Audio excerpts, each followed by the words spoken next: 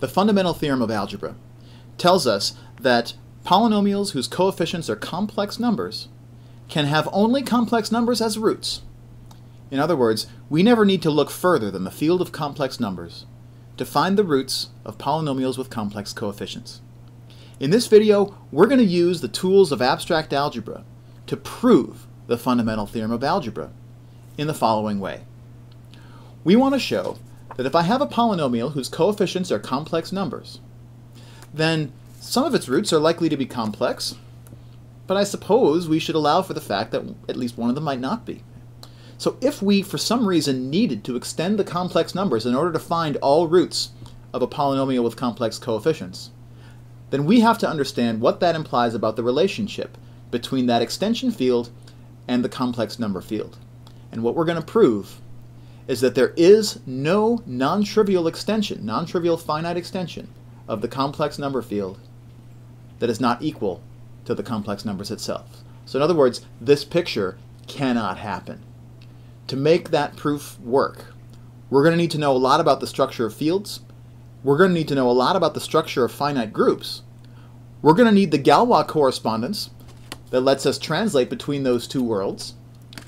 And we need to understand a couple of basic facts about the fields of real and complex numbers. They're going to make this proof work. So here are the ingredients. First we have the Galois correspondence from the Galois theory of fields.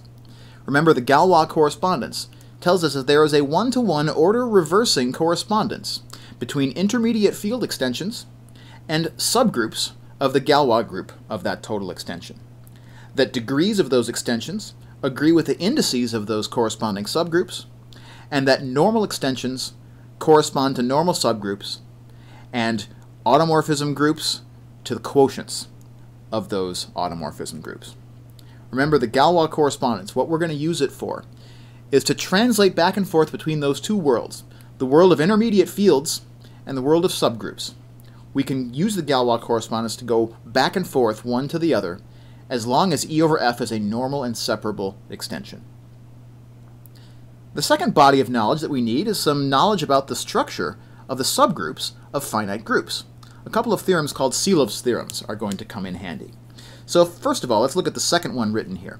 If I have a group whose order is a power of a prime number, so p to the k, then this theorem is going to tell us that that group must have a subgroup whose order is equal to each of the smaller prime powers. So if my whole group has order p to the k, then that group must have a subgroup of order p to the k, p to the k minus 1, p to the k minus 2, and so on and so on, all the way down to p. So every smaller prime power will be realized by a subgroup of G having that many elements. Secondly, if the order of our group is not strictly a prime power, but is a prime power times something else, then the other Sylow theorem here is going to tell us that there exists what's called a maximal P subgroup of that group. In other words, there exists a subgroup H such that the order of H is P to the K, and the index in G of that subgroup is equal to m, and p to the k times m is equal to the order of the group, and m is not divisible by p. In other words, any prime power factor of the order of the group G, its maximal prime power will be realized as the order of a subgroup of G. So these are the two facts about finite group theory that we're going to need in order to get to a proof of the fundamental theorem of algebra. Finally, we need some special facts about the complex field and the real subfield of the complex field. And these facts come from outside the realm of abstract algebra for the most part. First of all, we need the result that every polynomial whose coefficients are real, if that polynomial has an odd degree, then there's no way for that polynomial to avoid having at least one real root. This can be proven in calculus using the intermediate value theorem, because any polynomial of odd degree will approach positive infinity as t goes to one of the extremes, and negative infinity as t goes to the other extreme. And because it's a continuous function, it must therefore cross through the t-axis, and therefore have a root, which is a real number. We also have the square root property in the complex field. Namely, every complex number z has a complex square root. We can prove that actually directly. If z is equal to a plus bi, then its square root, one of its square roots at least, has the form listed right here that's made up of that combination of square roots. And we know that each one of those square roots is going to be a real number because the number underneath the radical is going to be positive in each case, and every positive real number has a real square root. So every complex number has a complex square root, and a consequence of that, because of the quadratic formula, is that every quadratic polynomial of complex coefficients will have complex roots. So this is a very special case of the fundamental theorem of algebra in degree 2, but we're going to see that that degree 2 special case is actually going to be enough to give us the entire statement that every polynomial with complex coefficients has complex roots. So the job of the rest of this proof is going to be to figure out how to cross out the word quadratic in the statement of this last uh, bullet point right here and show that every polynomial with complex coefficients must have only complex roots. So the first thing we want to do is suppose that E is a finite extension of the complex field. We want to prove that therefore E must be a trivial extension, in other words that E must be equal to the complex field itself. Well, the first thing that we might have to do, if E is not a normal extension of the real numbers, then let's replace E by its normal closure over the real numbers. After all, we need E to be a normal extension of R in this diagram in order to use the Galois correspondence. Remember, we can only use the Galois correspondence with a total extension that's both normal and separable. We get the separability automatically because of the characteristic of the real field being zero. But the normality we only get if we replace E by its normal closure if necessary. If we can show that the normal closure of E is trivial over the complex numbers. In other words, if the normal closure of E is equal to C, then that must mean that E itself is equal to C.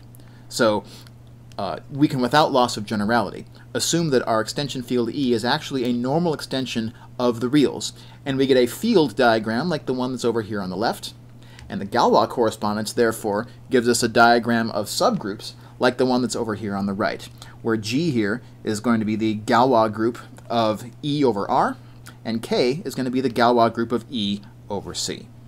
So here's what we have so far. What we want to do now is to build up some group structure over on the right-hand side and use the Galois correspondence to translate that into field structure over on the left-hand side. Let's see how that works.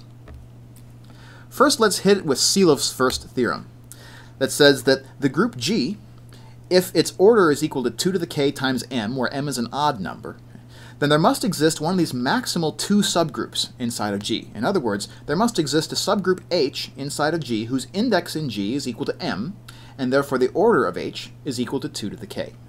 So we must have a group diagram like the one that's over here on the right, with H being a subgroup of G with index m, and m is an odd number.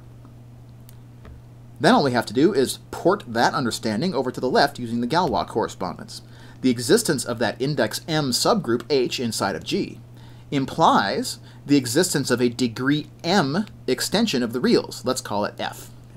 And now F is an intermediate field between the real numbers and E on the left-hand side. And the degree of F over R is an odd number. But what do we know about polynomials over the reals that have odd degree? We know that they have to have at least one real root. Therefore, the only way for f to be an odd degree extension of r is for there to be an irreducible polynomial over r of odd degree. But the only irreducible polynomials over the reals that have odd degree must have degree 1. Because if they had degree any more than 1, then we would have an irreducible polynomial over r with that degree, and if it's irreducible over r, that means it has no roots in r. But we know every polynomial of odd degree over r must have a root. Therefore, the degree of f over r must be equal to 1. And if the degree of f over r is equal to 1, that must mean that the subgroup h over on the right is equal to the whole group g. So what does that mean? It means that the whole group g has to have an order which is a power of 2 merely because we can't have an odd degree extension of the reals unless that degree is equal to 1. So we find out that this G has no subgroup of odd index, no proper subgroup of odd index. Therefore, G, the Galois group of E over R, must have degree which is a power of 2. Now looking on the right-hand side, if G has a degree which is a power of 2, and K, which is a subgroup of G, uh, is in between the trivial group and G, that must mean that K also has an order which is a power of 2. Now we'll port that understanding over to the left-hand side. That's going to show that the degree of E over R must be a power of 2, and therefore that the degree of E over C must be a power of 2. So now we've shown that if I take a finite extension of the complex numbers, that that finite extension has to have a degree which is a power of 2. And that's merely because of the Tower law. After all, the degree of the extension E over R has to be the equal to the product of the degree of E over C and the degree of C over R. And if E over R has a degree which is a power of 2, then E over C must be a divisor of a power of 2, but because 2 is prime, the only divisors of powers of 2 are themselves powers of 2. Alright, I think I've belabored that point enough, but it's really important. So now let's presume that that power of 2 which characterizes the degree of E over C, or equivalently, which characterizes the order of the Galois group K, let's presume that that's greater than or equal to 2. So that's a, it's a non-trivial extension here. Then that must mean, according to Sylow's second theorem, that there exists a subgroup L that has order equal to half the order of k. In other words, its index, the index of L in k, is equal to 2. Because if k has prime power order, then it must have a subgroup of every smaller prime power order. And so there's enough room here. If 2 to the L is greater than or equal to 2, then there's enough room for a proper index 2 subgroup inside of k. Let's call it L. But then the Galois correspondence will imply that that index 2 subgroup that we found of K corresponds to a degree 2 extension of the complex numbers. Let's call it D. But if there is an index 2 extension of the complex numbers over here on the left-hand side, then using an analogous argument to when we argued about f over r before, that degree 2 extension of the complex numbers will imply the existence of an irreducible quadratic polynomial of complex coefficients. But we happen to know that every quadratic polynomial over the complex numbers must have complex roots and therefore cannot be irreducible. Therefore, there is no such quadratic extension of the complex numbers that's non-trivial. So this is clearly absurd. But if it's absurd, what exactly did we contradict? We contradicted the assumption that there was enough room in the group K to fit a subgroup of index 2. So we assumed that the order of k was greater than or equal to 2 in order to make this contradiction. But now that we've contradicted that, we can't sustain the assumption that the order of k is greater than or equal to 2.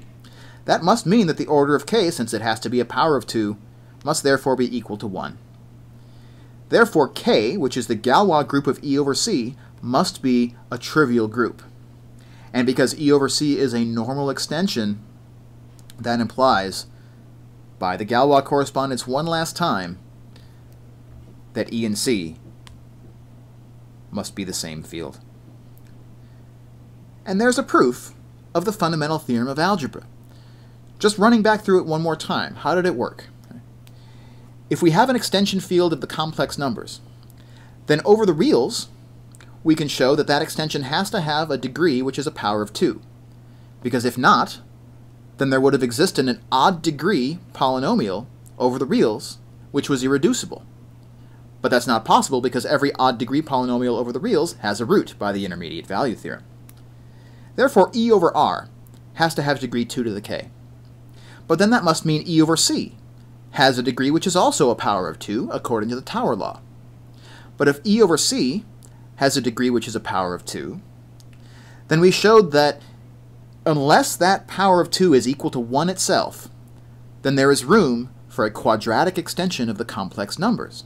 But we can only have a quadratic extension of the complex numbers if there exists an irreducible quadratic whose coefficients are complex. And that's not possible, because in the complex field, every number has a square root, and therefore every quadratic polynomial in C has complex roots.